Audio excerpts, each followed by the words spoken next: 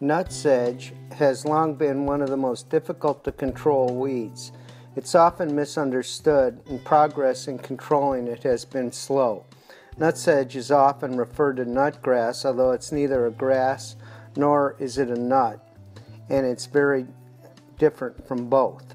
It is a monocot like grasses, but is in the sedge family. The nut refers to the below ground tubers, which are not nuts but have nutritional value and are sometimes eaten in famine stricken areas of Africa. There are more than 5,000 separate species of sedges that exist worldwide. Some of the most widely known sedges are water chestnut and papyrus sedge, which was used to make ancient writing material.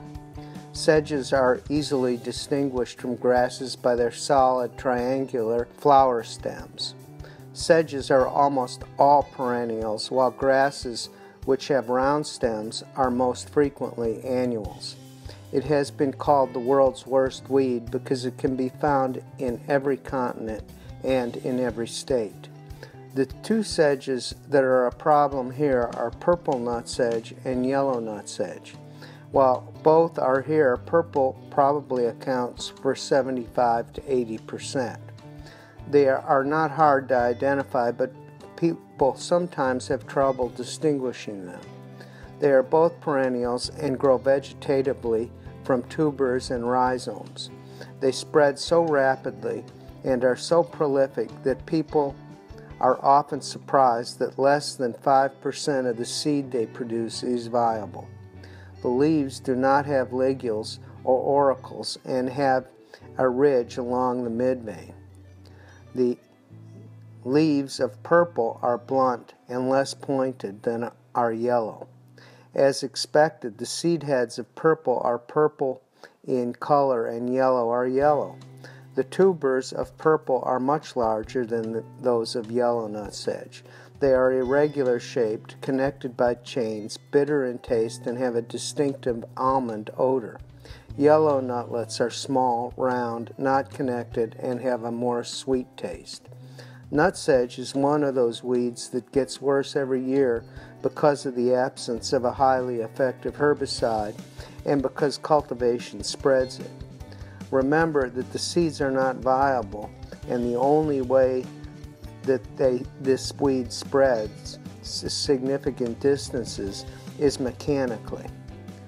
Soil movement should be minimized as much as possible where nutsedge is a problem. This is contrary to the belief that repeatedly bringing the nutlets to the surface to desiccate them will control it. Many techniques have been used to try to control it over the years, ranging from hand pulling to soil fumigants. Almost all herbicides have activity on this that have activity on this weed are only partially effective and require multiple applications over multiple years.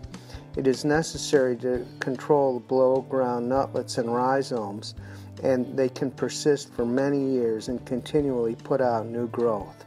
Nutsedge is so prolific that if a herbicide is not highly effective, the infestation is back to where you started one year later. Several herbicides have nutsedge on the label and range in control from 20 to 90 percent. 20 of these herbicides are contained in a table that is included with the online article. Thank you very much.